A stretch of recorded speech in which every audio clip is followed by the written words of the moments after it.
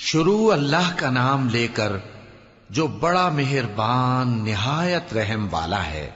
ए नबी, सल्लल्लाहु अलैहि वसल्लम, क्या हमने तुम्हारी खातिर तुम्हारा सीना खोल नहीं दिया?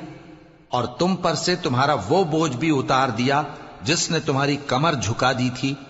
और हमने तुम्हारी खातिर तुम्हारा ज़िक्र बुलंद किया।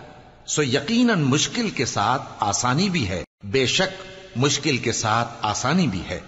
सो जब तुम फारिग हुआ करो तो इबादत में मेहनत किया करो और अपने परवरदिगार की तरफ़ मुतवजे हो जाया करो।